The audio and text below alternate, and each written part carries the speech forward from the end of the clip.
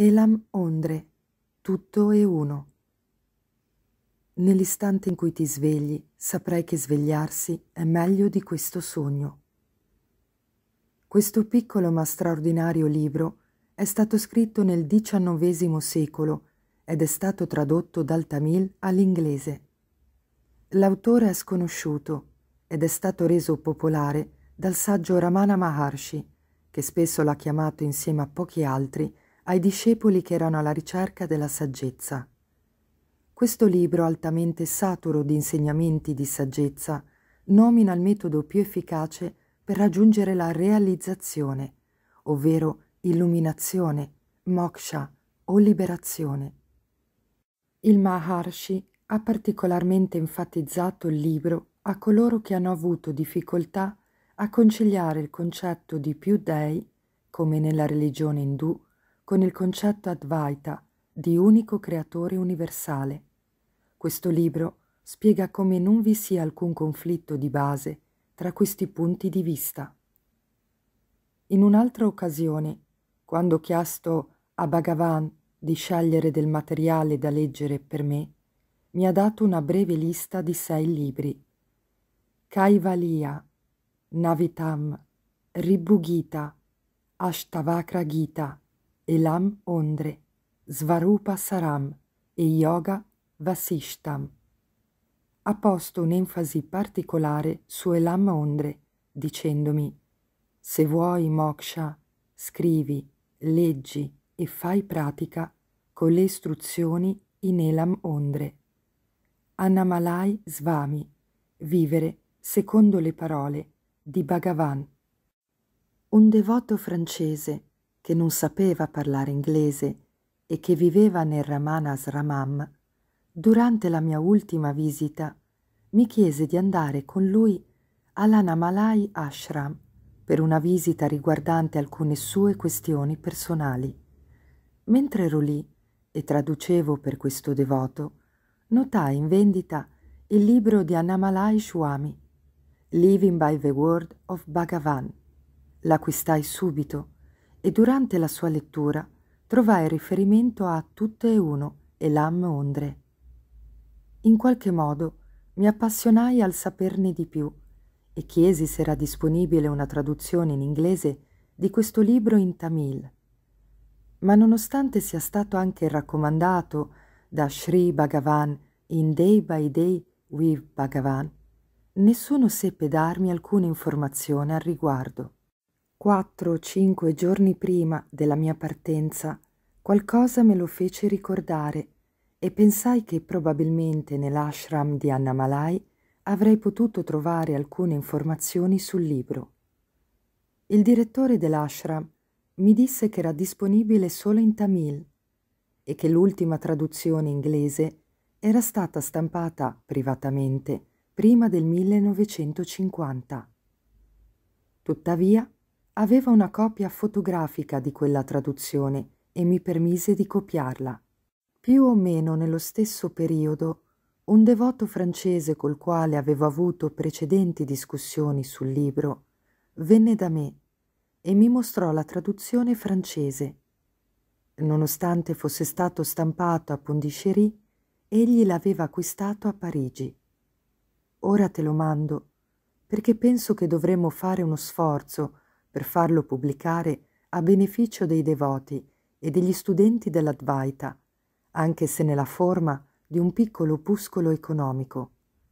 La composizione anonima era molto apprezzata da Sri Ramana Maharshi e per questo sono sicuro che in molti saranno interessati a studiarlo.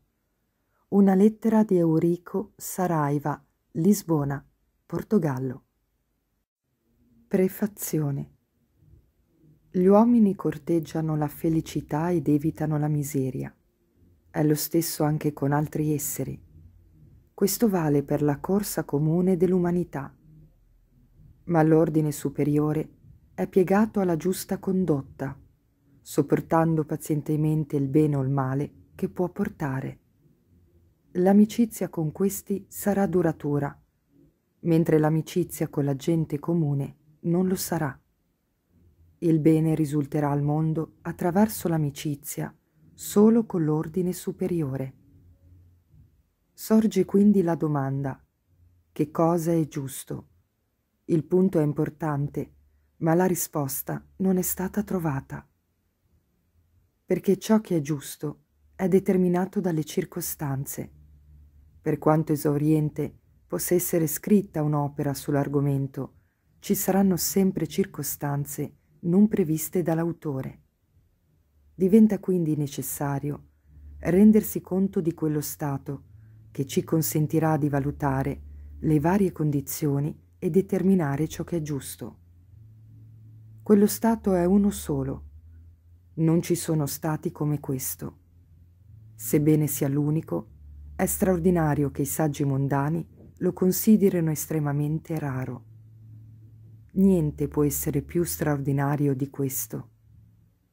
Questo stato unico è insegnato molto chiaramente nelle Upanishad. In questo libro ho messo per iscritto la stessa verità secondo la mia comprensione. L'ho considerato mio dovere. Non rivendico l'originalità. I sei capitoli di questo libro sono così strettamente correlati che un punto che ci si può aspettare in un capitolo può essere trovato in un altro e alcuni punti, che potrebbero non essere chiari a una lettura superficiale, diventeranno chiari con uno studio più attento. Altre versioni o punti di vista diversi possono essere raccolte dalle opere principali o dai saggi. Madre universale, vero maestro Salvaci.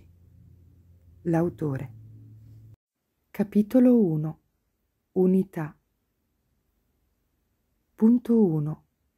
Tutto, compreso il mondo visto da te e te stesso, il veggente del mondo, è uno solo. Punto 2. Tutto quel che consideri come io, tu, egli, ella, esso, è solo uno. Punto 3. Ciò che consideri esseri senzienti e ciò che consideri insensibile, come la terra, l'aria, il fuoco e l'acqua, sono tutt'uno. Punto 4. Il bene che deriva dal considerare tutto come uno non può essere ottenuto considerandolo separato dall'altro. Quindi tutto è uno. Punto 5. La conoscenza dell'unità di tutti è un bene per te e anche per gli altri, quindi tutto è uno. Punto 6. Colui che vede io sono separato, tu sei separato, lui è separato e così via, agisce in un modo verso se stesso e in un altro verso gli altri non può fare a meno di farlo. Il pensiero io sono separato, gli altri sono separati, è il seme da cui cresce l'albero delle diverse azioni in relazione alle diverse persone. Come può esserci qualche errore di rettitudine per una persona che conosce l'unità di se stessa con gli altri?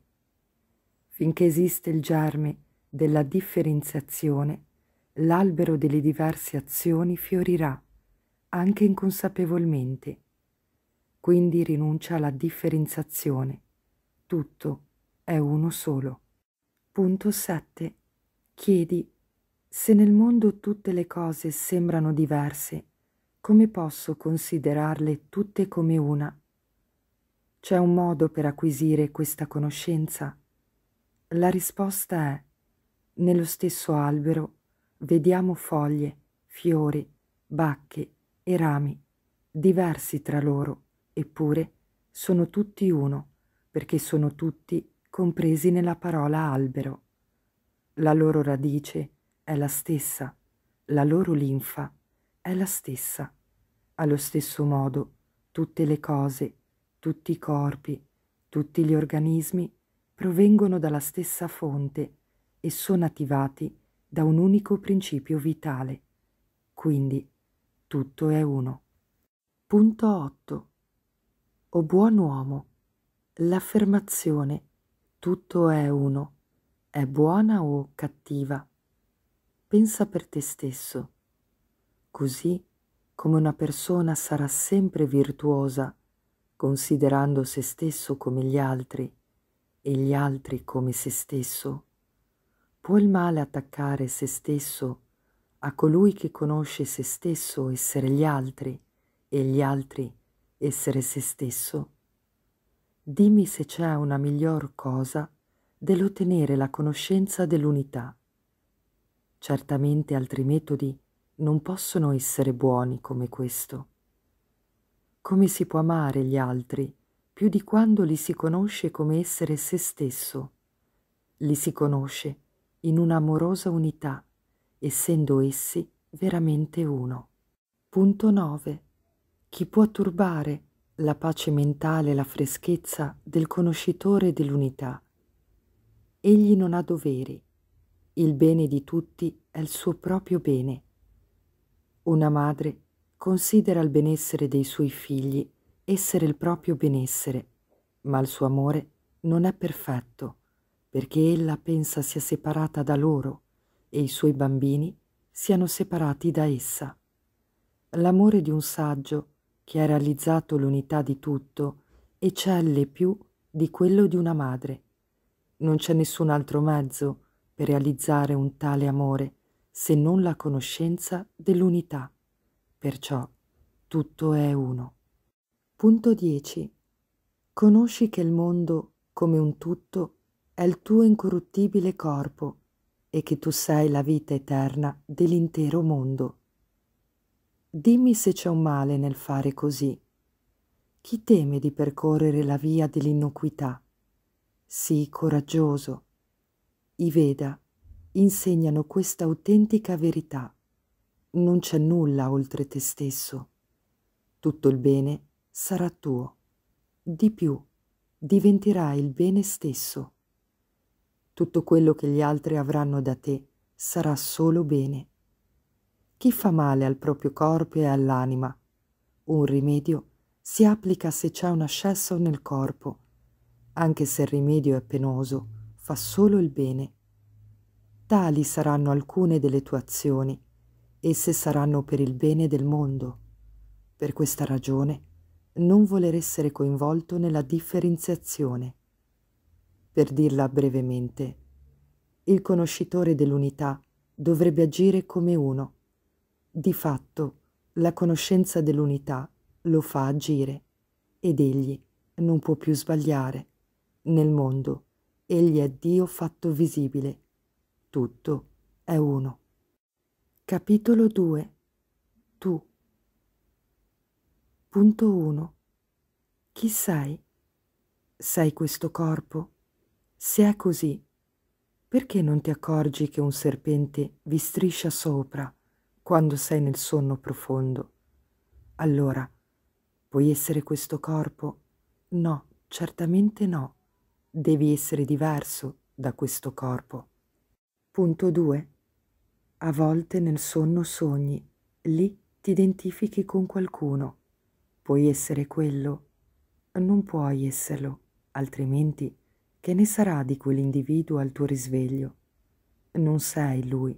Inoltre, ti vergogni di esserti identificato con lui.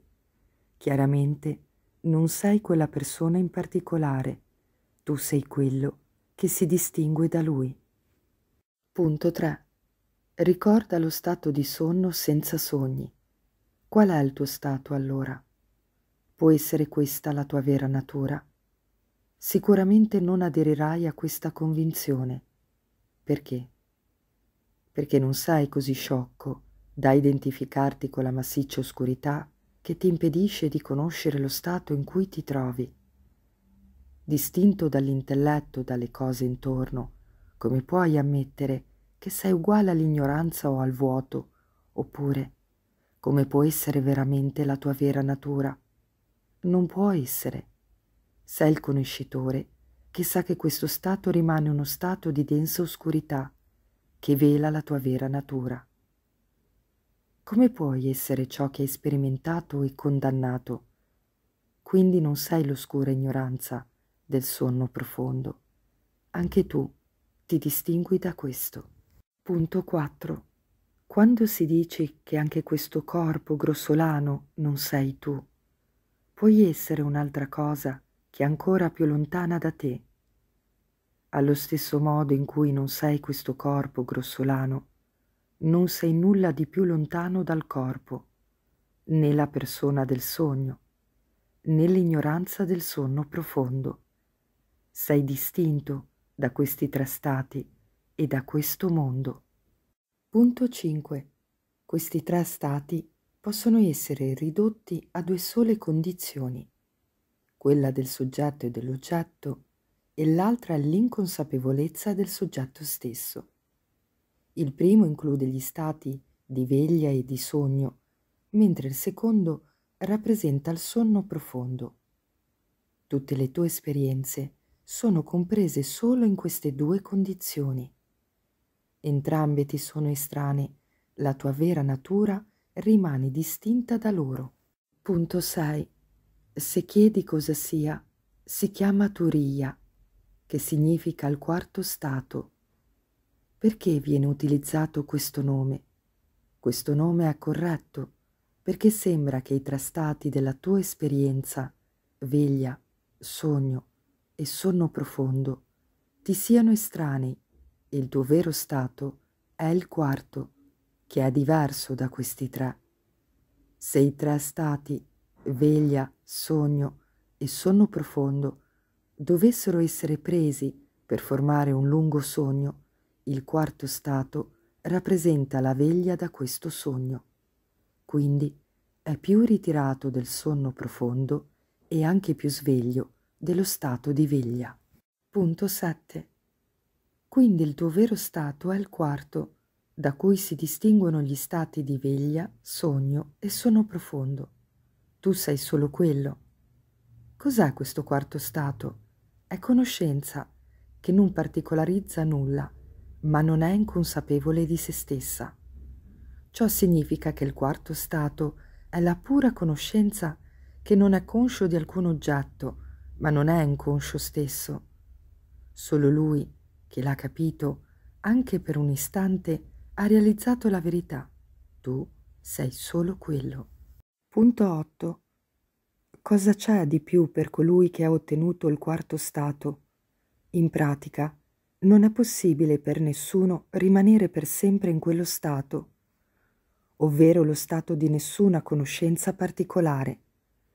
Colui che ha realizzato il quarto stato più tardi si risveglia in questo mondo, ma per lui questo mondo non è come prima. Vede che ciò che ha realizzato come quarto stato risplende in tutto questo. Non immaginerà questo mondo come distinto da quella pura conoscenza Così quello che vedeva dentro ora lo vede all'esterno, in una forma diversa. Al posto della differenziazione del passato, ora è stabilito ovunque, nello stato di non differenziazione. Ora è tutto.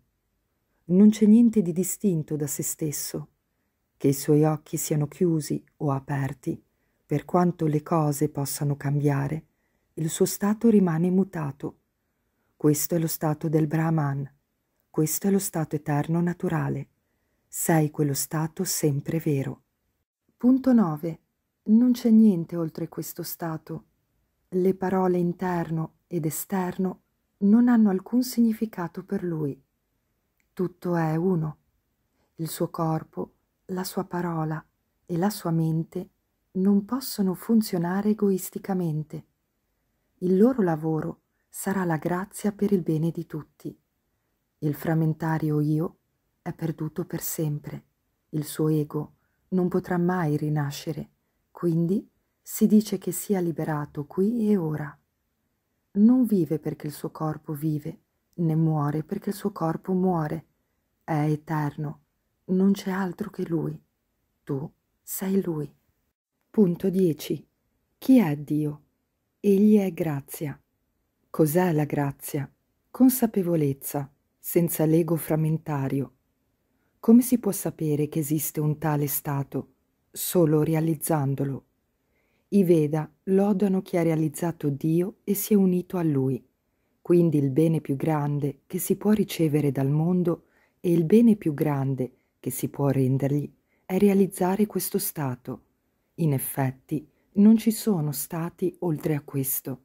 Essi appaiono solo nello stato di ignoranza, perché lo sa, c'è uno stato solo. Tu sei quello.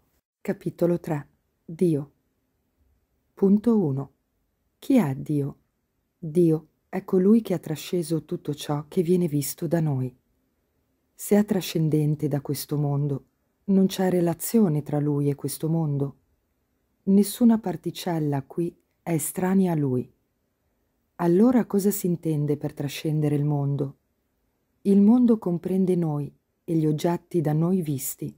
In altre parole, l'animato e l'inanimato insieme formano il mondo. Cosa diremo di colui che ha creato gli esseri e le cose? Di questi due diciamo che gli esseri coscienti sono superiori. Tutto ciò che possiamo apprendere è che egli appartiene al più alto ordine di esseri a noi noti. Il nostro intelletto non può precedere oltre, quindi il nostro creatore è superiore a noi. Non può essere compreso dal nostro intelletto, quindi il suo nome essere trasceso, Kadavul, significa che supera il nostro intelletto, quindi il suo nome è Kadavul, essere trasceso. Punto 2. Non può allora Dio farsi conoscere. Non è proprio così. In un certo senso c'è noto. Questa parte della sua grazia ci basta e non abbiamo bisogno di tutta la sua grandezza ha fatto conoscere così tanto della sua grandezza quanto basta per sradicare la nostra miseria. Non c'è motivo per lui di rivelare un briciolo del suo potere in più di quanto sia necessario per rimediare i nostri difetti nello stato attuale. Così ci è conosciuto secondo i nostri bisogni? No, è nelle nostre mani. Per quanto illimitato, è alla portata della nostra conoscenza in una certa misura. Punto 3. Cos'è che lo rende alla portata della nostra conoscenza? Che è conosciuto come essere, coscienza, beatitudine, sat, chit, ananda. Essere denota ciò che è imperituro, ciò che esiste per sempre.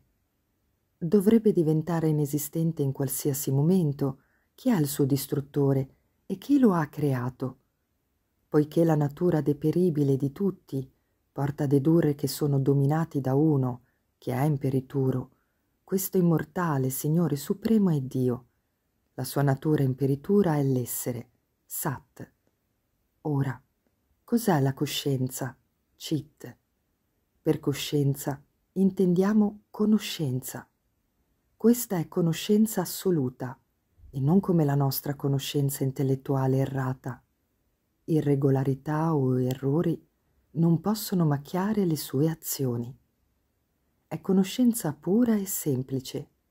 Spesso ci insegna dicendo la tua conoscenza è irregolare ed errata e come sono ordinati anche gli oggetti insensibili della sua creazione.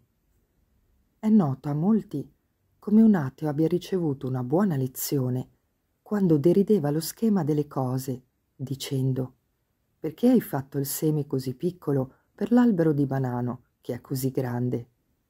Il fatto che una cosa insensibile si trovi in buon ordine in seguito diventi utile implica un agente cosciente al lavoro.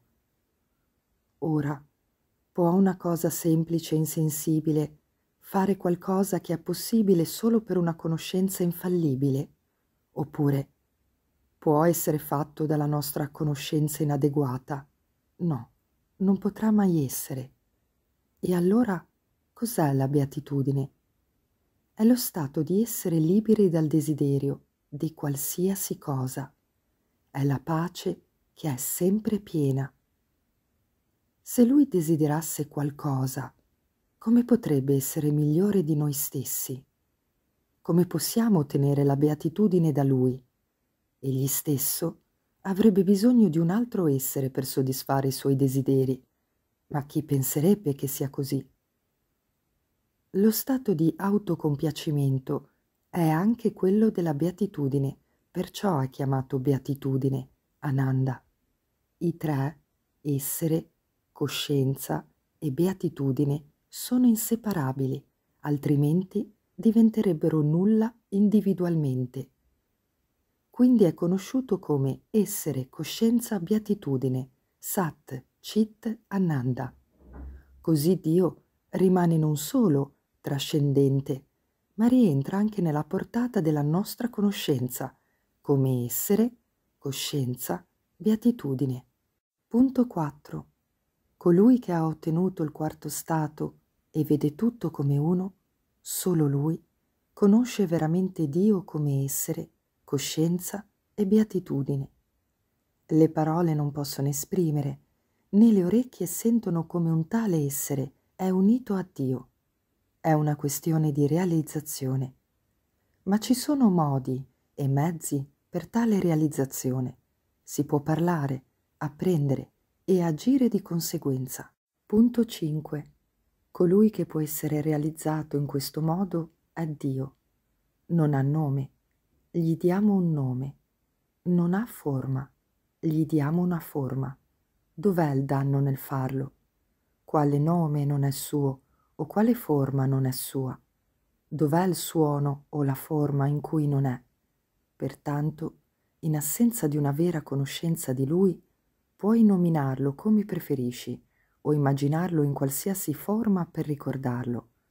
La tua speranza per la sua grazia, senza alcuno sforzo da parte tua, è completamente inutile. Se fosse possibile avere la sua grazia senza alcuno sforzo dalla tua parte, tutto sarebbe uguale. Non ci sarebbe motivo per alcuna differenza. Ci ha mostrato modi e mezzi.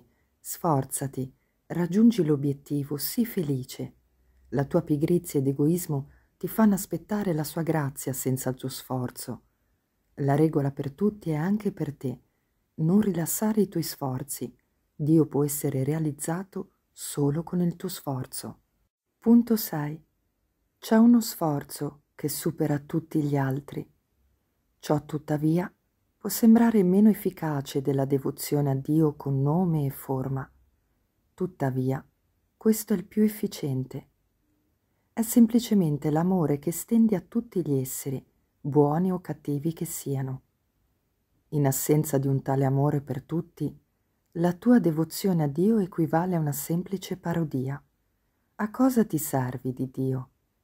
Il fatto che cerchi l'adempimento dei tuoi desideri da Dio, senza fare il tuo dovere verso i bisognosi nel mondo, deve essere attribuito al tuo egoismo. Alla presenza di Dio non serve a niente. Le operazioni che hanno luogo alla sua presenza sono tutte altruiste. Quindi pensa che tutti i centri sono suoi ed è in tutti i centri e quindi sii devoto a lui. Dio è veramente vincolato da una devozione così alta. Punto 7. Mentre continui ad attribuire nomi e forme a Dio e a mostrare amore a tutti, perché hai compreso che tutti i nomi e le forme sono suoi, la tua mente maturerà gradualmente. Come il gusto migliora con la maturazione di un frutto, così anche tu riconoscerai in te l'aumento del bene e il declino del male. Man mano che la tua mente matura, arriverà il momento in cui dovresti incontrare il tuo maestro. Questo non vuol dire che tu vada a cercarlo o che lui venga a cercarti, ma al momento giusto avverrà l'incontro. Tutti si stanno muovendo a modo loro. La tua forma fisica ti unisce, ti fa fidare di lui, ti fa insegnare nel modo giusto, ti fa anche seguire le sue istruzioni. Questa è la via dritta per raggiungere Dio, che è ottenere il quarto stato. Seguirai la via e raggiungerai il tuo obiettivo, che è essere coscienza beatitudine che è Dio. Punto 8. La via indicata dal Maestro è definitiva, diritta e diretta all'unità. È ben provato, naturale e privo di dolore. Quando segui la via mostrata dal Maestro, i dubbi non sorgeranno e non ci sarà paura. La paura e il dubbio non sono forse le caratteristiche delle vie dell'oscurità? Come possono incontrarti nella via della verità mostrata dal Maestro? In questo modo il modo stesso ti parlerà e dirà che è quello giusto. In questo modo non avrai altro da fare che incontrare il tuo Maestro e imparare da Lui. In questo modo ti sarà familiare, poiché il Maestro e Dio l'hanno reso così, prima di te aveva calcolato la strada, ti ha mostrato la via e tu lo stai seguendo. A quanti la mostrerai allo stesso modo e quanti altri seguiranno nello stesso modo in seguito? Ovviamente paura e dubbio non hanno posto sulla via della verità quando hai fatto un passo avanti, tornerai indietro e l'aiuto del maestro è solo per il primo passo in avanti. Non devi fare nulla per il tuo maestro perché lui possa farti vedere la via. Sappi che è il messaggero di Dio inviato per rivelare la via a coloro che sono diventati maturi grazie ai loro sforzi in una o entrambe le direzioni menzionate in precedenza.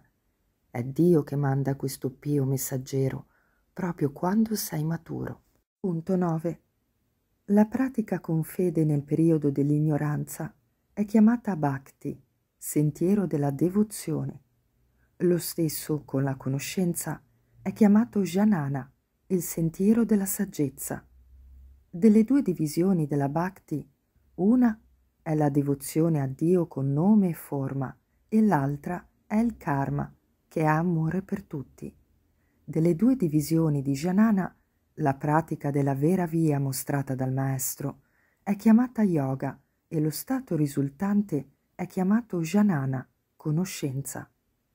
È naturale per tutti credere in qualcosa che non si vede e poi trovarlo, ma chi non crede non potrà mai trovare.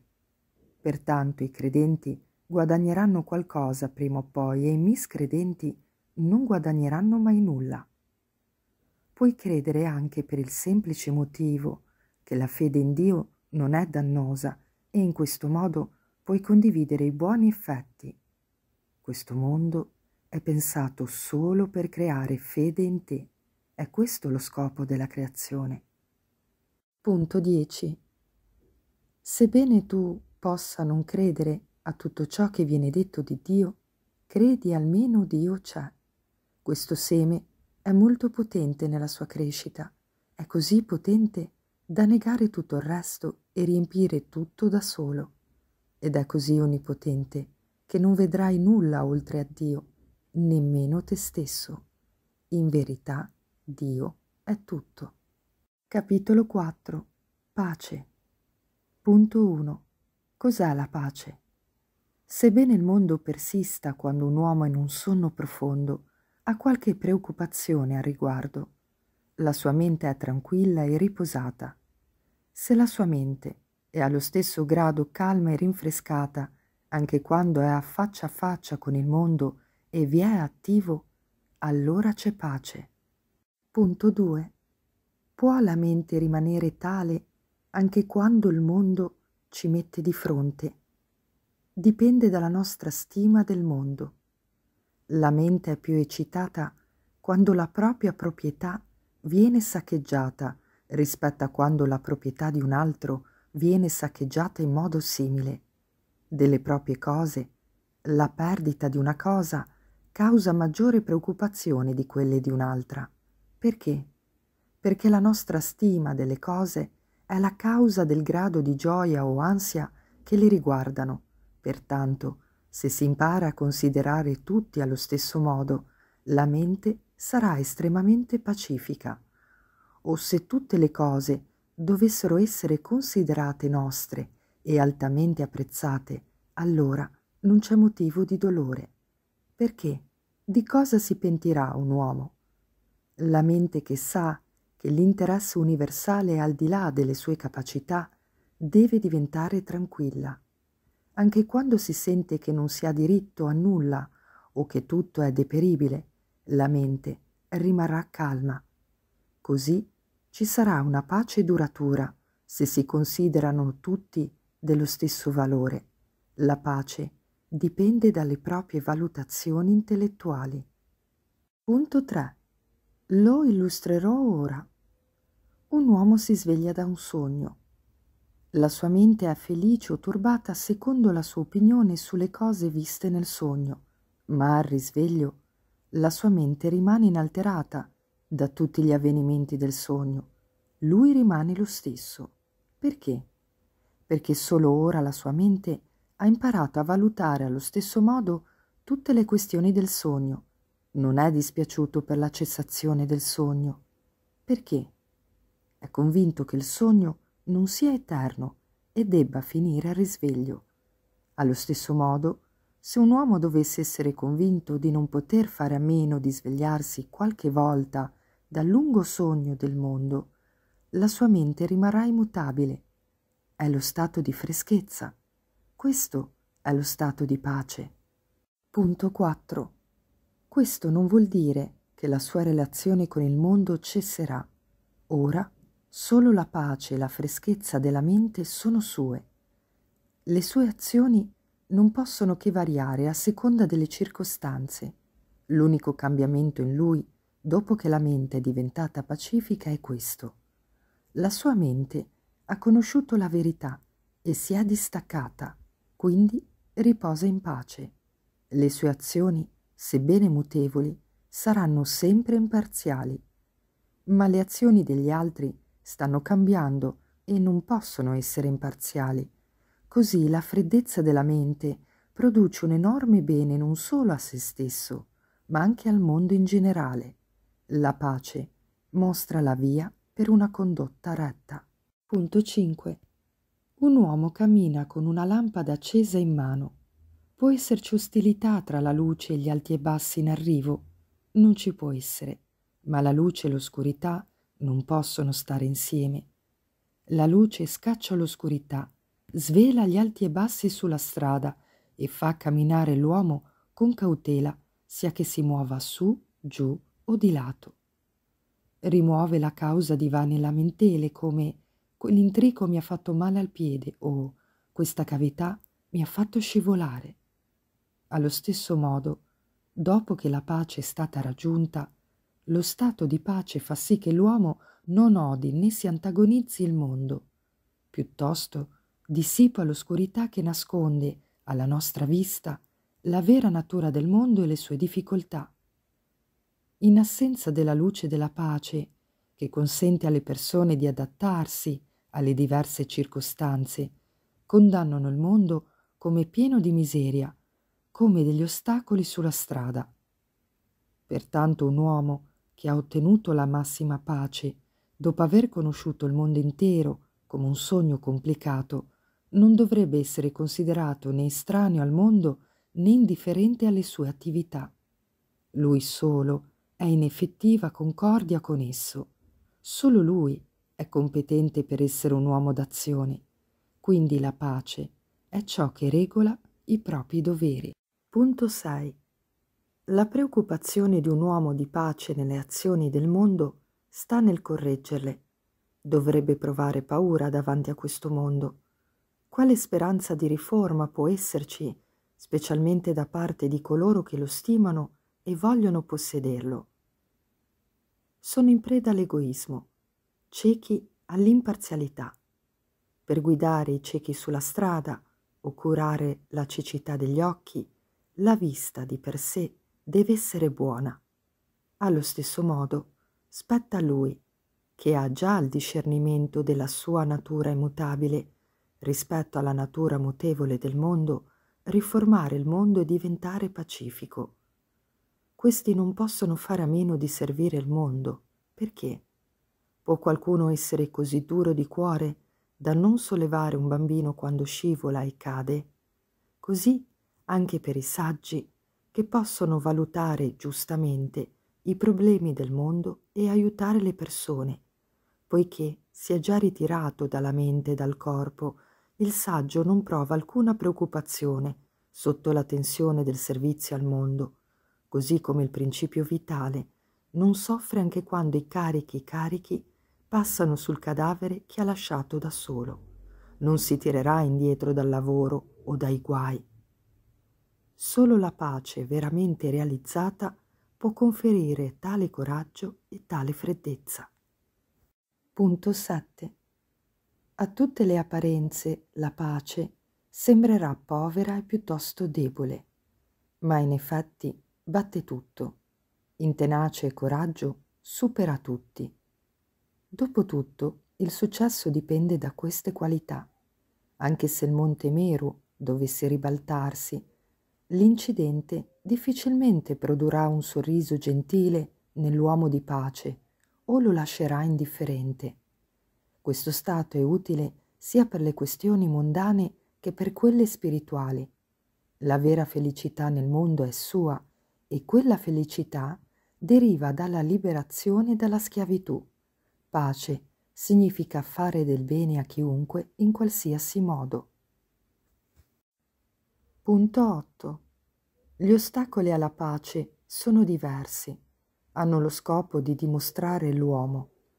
Quando ci affrontano dovremo essere completamente svegli e mantenere il delicato fiore della mente lontano anche dalle loro ombre. Se il fiore della mente viene schiacciato, perderà la sua fragranza, freschezza e colore. Non vi sarà né utile né potrà essere presentato ad altri né offerto a Dio. Sappi che la tua mente è più delicata persino di un fiore. Per mezzo di una mente pacifica, tutti i tuoi doveri verso te stesso, verso gli altri e verso Dio devono essere adempiuti. Lascia che rilasci la stessa freschezza dappertutto. Tutte le benedizioni per la mente sono contenute nella pace. Punto 9. Adorate incessantemente il Dio del vostro sé con il fiore della vostra mente. Lascia che i figli dei modi mentali osservino questa adorazione. A poco a poco impareranno a gettare via i loro scherzi infantili e il desiderio di deliziarsi come te. Mentre guardano la tua pace, si ritrarranno dai loro capricci. Continua pazientemente l'adorazione. Non lasciarti trascinare dai capricci della mente, al contrario, dovrebbero diventare pacifici con la tua pace. Tutti devono trovare la pace. Punto 10. Concluderò con una parola. L'essenza di tutti i Veda è pace. Capitolo 5. Azione. Punto 1. Ogni azione è di Dio. Il suo potere ha fissato ogni cosa nella sua funzione individuale. Con il suo intervento gli oggetti insensibili e gli esseri senzienti fanno il loro lavoro. Tutte le azioni sono sue. Punto 2. Tutti stanno facendo il loro rispettivo lavoro allora, cosa c'entra Dio con questo? Considereremo prima gli esseri senzienti e in seguito gli oggetti insensibili. Siamo esseri senzienti. Vediamo prima di tutto di chi sono le nostre azioni. Tutti desideriamo uno stato superiore e lavoriamo per questo, ma i nostri risultati non sono uniformi. A volte l'obiettivo è lo stesso e lo è anche il lavoro, ma perché c'è una differenza nei risultati? Qui Dio ci fa capire che l'azione è sua, altrimenti tutti devono essere uguali. La differenza nelle condizioni non può essere considerata. Può esserci qualcuno che non desideri migliorare la sua posizione, qualunque sia la loro intenzione verso gli altri la loro intenzione verso se stessi è sicuramente onesta. Le condizioni delle persone con la stessa intenzione sono tuttavia diverse, questo perché tutte le azioni sono da Dio. Punto 3. Tutti gli esseri hanno la stessa intenzione, tuttavia i loro sforzi sono di diverso grado, così anche i loro stati. Dopo aver detto questo, sorge la domanda, cos'è lo sforzo? Non è semplicemente un'immagine mentale. Tutte queste immagini hanno la stessa origine cioè l'intenzione comune di tutti, perché allora l'immagine dello sforzo dovrebbe differire in ciascuna. Anche qui Dio ci fa vedere che tutte le azioni sono sue. Punto 4. Se si dice che nonostante la stessa intenzione lo sforzo può variare a seconda delle capacità individuali, sorge la domanda qual è l'origine di questa capacità? È del corpo e della mente. Anche l'ambiente può influenzarlo. Bisogna tener conto di tutti i fattori prima di fare uno sforzo. Tuttavia, questi fattori non sono sotto il proprio controllo, quindi lo sforzo potrebbe non essere all'altezza del compito e quindi tutte le azioni sono di Dio. Punto 5.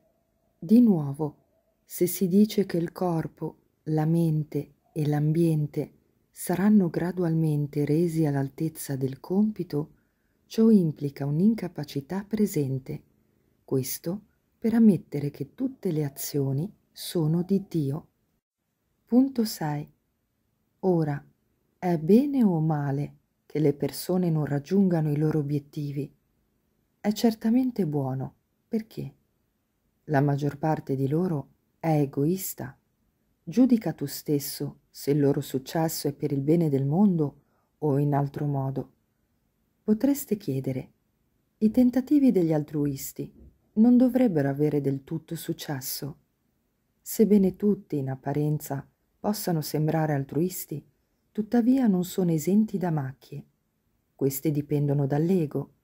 Se l'altruismo immaginato ha dato origine a un senso di superiorità sugli altri, Dio vanifica il loro scopo e insegna loro che anche tu sei come gli altri e io ti governo.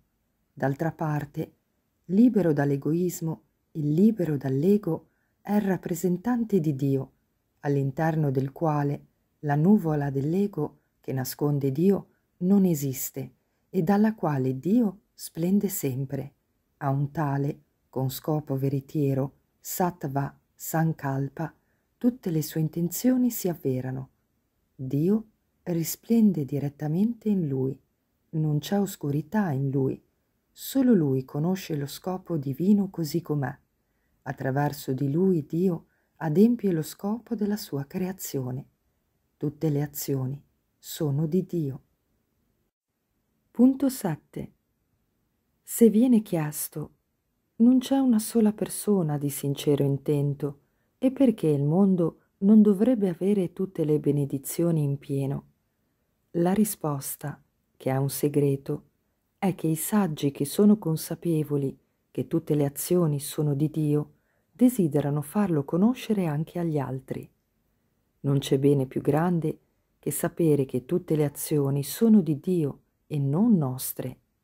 Questa conoscenza contiene tutte le benedizioni in sé, pertanto l'intenzione dei saggi è di istruire chiaramente gli altri nella conoscenza di Dio e delle sue azioni.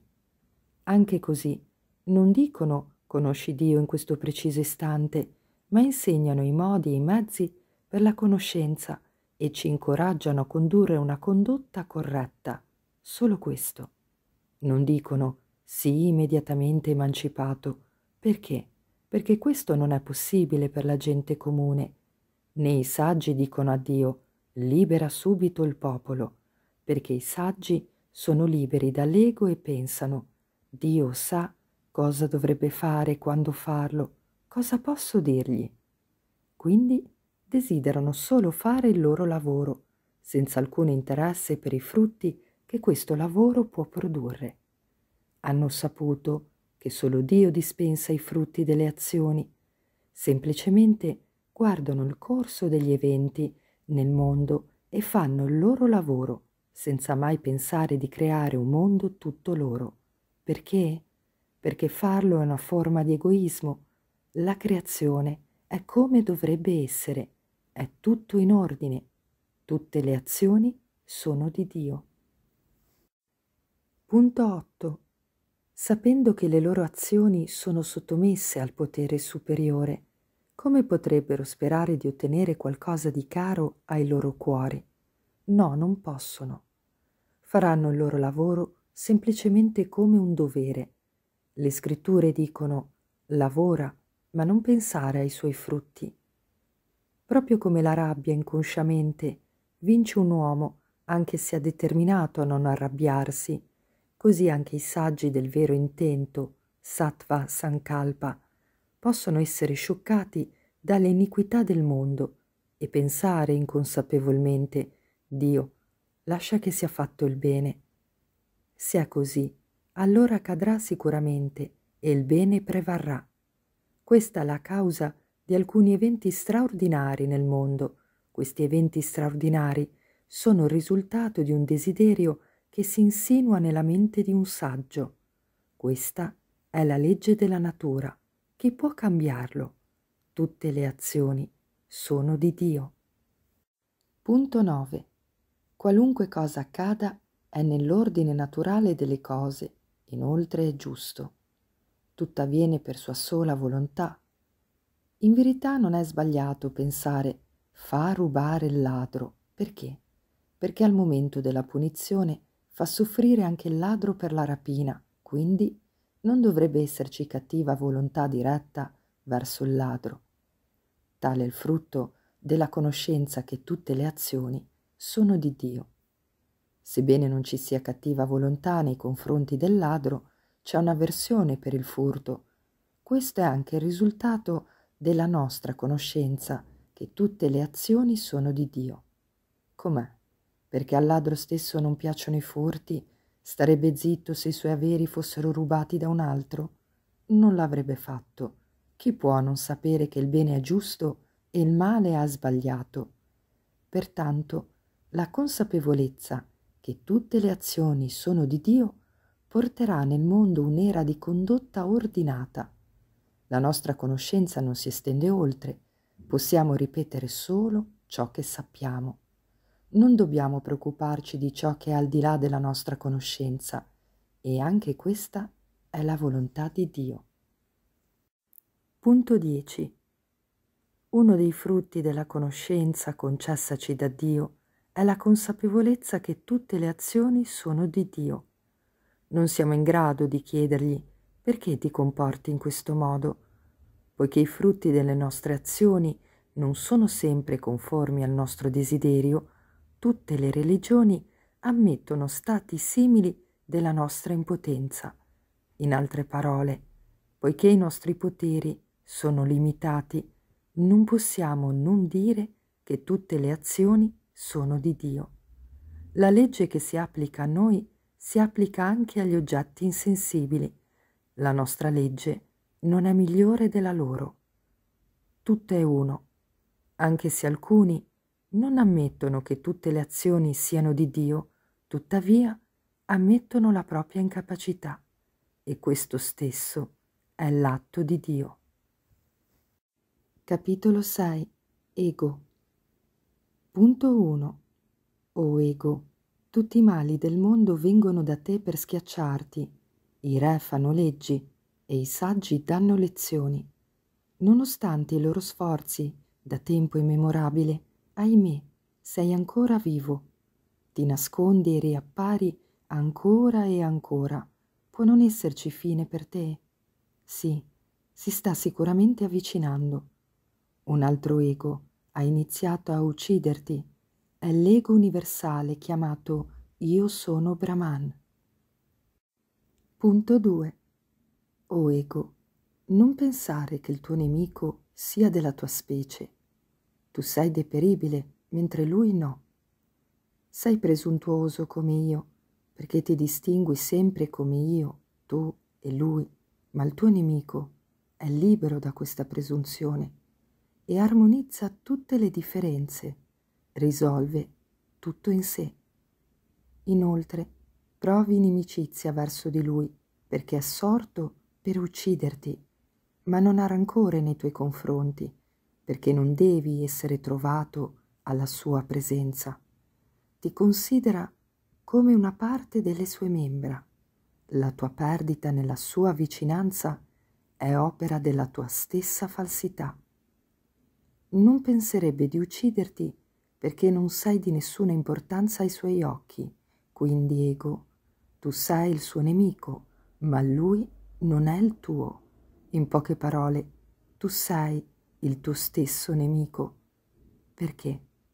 A causa della tua avidità ti sei ostentato davanti al grande come faresti altrove e all'istante ti sei perso. Perciò il sé universale ti oscura divorandoti e poi risplende come luce di tutto. Punto 3. O ego, i mali delle tue opere non hanno limiti. Non sei contento a meno che tu non sia esaltato al di sopra degli altri e gli altri siano abbassati prima di te. Infiniti sono i tuoi desideri come con quale titolo guadagnerò onore? In che forma apparirò elegante? Gli altri si inchinano davanti a me, gli altri mi obbediscono in silenzio, gli altri dicono che nessuno mi eccelle, ahimè, quanto è breve la tua vita, eppure a quanto aspiri e quanto male fai. Ti sei illuso che ci sia felicità in tali idee e nel differenziarti da tutti gli altri, questo non è per il tuo bene. Non hanno diritto anche gli altri a tutto questo? Qual è la tua parte nelle cose che sono comuni a milioni e milioni di altri? Stando così le cose, non desiderare invano di governare tutto. Con il tuo vano desiderio porti il male a te stesso e agli altri. Ascolta il mio consiglio amichevole. In verità, colui che consideri tuo nemico mortale è tuo amico sa come renderti degno della vera grandezza e delle benedizioni. Arrenditi a Lui. Questo ego universale non ti tratta come un nemico, ma è il tuo più grande benefattore. Punto 4. In nessun modo puoi scoprire cosa egli farà di te se non ti arrendi a lui. Per quanto ne parli, tu non puoi capire, è questione di esperienza. Senza dubbio egli non farà altro che esaltarti al suo stato, pertanto non essere perplesso sul tuo futuro e arrenditi direttamente. Puoi sempre voltare le spalle se la gioia non ti raggiunge dall'istante in cui ti arrendi. Proprio come il bere del latte inizia con un gusto gradevole e finisce con la soddisfazione della fame, così anche la resa inizia con il piacere e finisce con la beatitudine perfetta che sta al di là anche del piacere e del dolore. Quindi il tuo obiettivo, senza dubbio, è questo ego universale. Io sono Brahman. Punto 5. Ma quale sarà il tuo nuovo nome dopo la resa? Non c'è nessun nome oltre al tuo. I Veda ti lodano, il mondo ti loda, l'essenza degli insegnamenti religiosi sei tu stesso. Allora, qual è la tua forma? Tutte le forme sono tue, non c'è forma che non sia tua. Ciò che è installato nei templi di adorazione sei tu. Ciò che è descritto nei Veda sei tu. Feste e ricorrenze sono tutte per te. Ora, quale può essere il tuo potere? Alla tua presenza il mondo è attivo e ognuno è quello che è grazie a te. Detto in breve, tutte le cose ti glorificano e testimoniano il tuo essere. Hanno il dovere di farlo. Non avresti nemmeno immaginato che questo sarebbe stato il tuo stato e allora inizia subito e non essere presuntuoso. L'ego universale ti aspetta. Punto 6. Desideri svegliarti dal tuo sogno o continuare in esso? E quanto dureranno le immagini dei tuoi sogni? Non essere pigro, scrollati di dosso il sonno e svegliati. Stai assistendo alle tue immagini mentali ed immagini sempre di più. È tutto inutile. Scopri solo chi è che vede le visioni e non illuderti di essere queste che sorgono e affondano in te. Svegliati Nell'istante in cui ti sveglierai, saprai che svegliarsi è meglio di questo sogno e allora alzati. L'ego universale aspetta per gioire nel vederti sveglio. Punto 7. Non temere la cessazione del presente sogno dell'ego. Una volta sveglio, godrai lo stesso ancora di più. Non sarai più deluso e lo osserverai con allegro distacco, non confuso. La follia di tutte le apparenze sarà compresa e non avrai alcun peso. In sogno il tuo immaginario mentale assume forme, al risveglio conosci il sogno solo come sogno. Non confondere il sogno con lo stato di veglia. Conosci il sogno come sogno. Per farlo devi raggiungere lo stato di io sono Brahman, ego universale, e svegliarti dall'illusione dell'ego. Punto 8. Ti ho istruito per il tuo bene e non nel mio interesse. Se mi credi, dovresti agire in base a ciò che ti ho insegnato. D'altra parte, se non vedi nulla di buono in quello che ho detto, allora allontanati da questo ideale. Come posso aiutarti se i miei consigli e tutti i consigli dei santi non ti fanno impressione? Nessuno stato è superiore a questo, credimi, è per il tuo bene che realizzi questa verità e attraverso di te altri possono realizzare lo stesso. Sii libero dalla presunzione, inizia subito, renditi conto che l'ego universale è tuo. Punto 9. O ego, guarda come sei schiavo di tutti e quindi soffri. Quanto è pietoso il tuo stato. Tutti ti sono ostili. Quando dici solo per me, anche tutti gli altri si contenderanno solo per me, solo per me.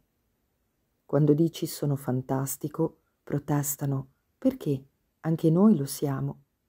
Tutti ti sono ostili. A causa dei problemi causati dagli altri, le tue immagini mentali aumenteranno di un milione di volte. Non dovresti elevarti al di sopra di loro e trarre profitto arrendendoti a un maestro. Allora tutti i tuoi nemici ti faranno amicizia. Se dici agli altri, tutti questi sono tuoi, tutti diventano tuoi amici. C'è solo uno che può renderti così magnanimo, ed è io sono Brahman, ego universale. Punto 10. Dirò solo una parola, e questo non è dovuto al mio egoismo, è semplicemente mio dovere. Non dico questa parola solo per il tuo o solo per il mio di bene, ma è per il bene di tutti. La verità è, io sono Brahman, ego universale.